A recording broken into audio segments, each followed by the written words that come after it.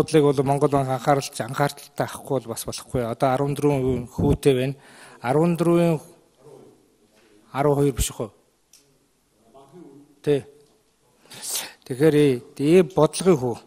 Тэгэхээр ийм өндөр байхад бол арилжааны банкны хүү буулгах болох асуудлууд бүгд байхгүй.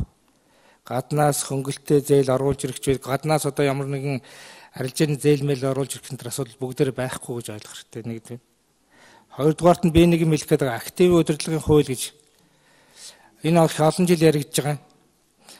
Эдийн засгийг эрүүлжүүлэх хөлөө эдийн засгийг сайжруулах хөтөлбөр гэж би нэг ажлын хэсэг ахалсан. Тэрэн дээр хүртэл одоо энэ хуулийг оруулж ирэхээ ингээд хөтөлбөрт нь хүртэл суудсан байж байдаг. Энийг одоо нэг оруулж ирэхгүй болохгүй хаа. Одоо энийг оруулж ирэх Тэгээ тэр засгийн газар нь дургуутсах нь хамаахгүй оруулж ирээд энэ төр ингээд нь энэ одоо муу зээл энэ төрийг цэгслэх банкнуудын энэ банкаа сайжруулах энэ төр арилжааны банкнуудын асуудал энэ шийдэж явахгүй болохгүй одоо энэ дээр бол одоо анхаарад ойрын үед оруулах талын бодооч.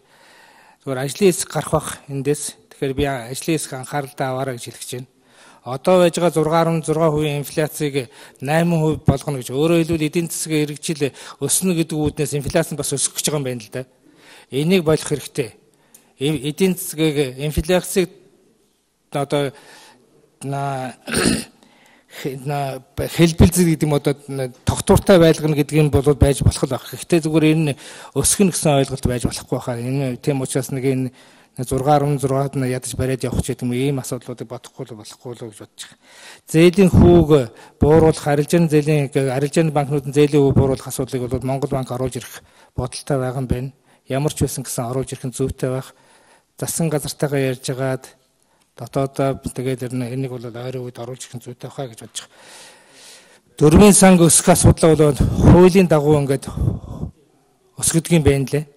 Тийм учраас ядаж одоо хуулиа боловсруулахтай эхлээд хууль хуультай юм гэлнаач. 5 тэрбум өсгөё гэж бодож байгаа бол та нар одоо хууль хуулиа өөрчилж энийг оруулах хэрэгтэй юм байна гэж. Ингээд за өнөөдрийн